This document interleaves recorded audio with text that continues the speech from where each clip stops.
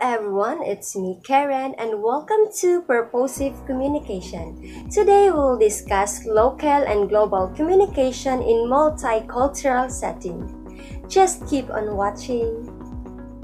So first, let us know what is local communication.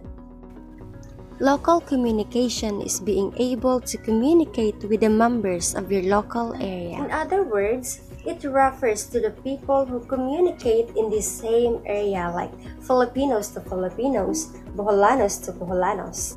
Here in the Philippines, we have over 120 languages spoken in the Philippines. Filipino and English are official languages in the Philippines. English is the common language used in the government. Here in Bohol, we have uh, what we call this one Sinubuanong Bisaya or we speak Sinubuanong Bisaya which is different from those uh, in, Sambu in Zamboanga which is Chavacano. Now let's move on to global communication. It is simply communicating with people across the globe. In line with this, English is considered to be the universal language, mainly because it is the most spoken language worldwide. It is widely used in schools, government, governments, and trade. When we say intercultural communication, it refers to the interaction between people with different cultures. Now, here in the uh, Philippines is a good example. Philippines is considered to be a culturally diverse country. Why? Because we have uh, varieties of cultures per region. Another example, Muslims have a different culture than us, no? but still we communicate to them.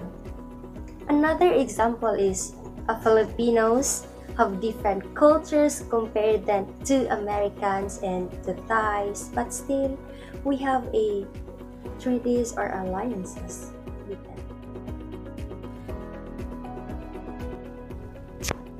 Interracial communication, communicating with people from different races.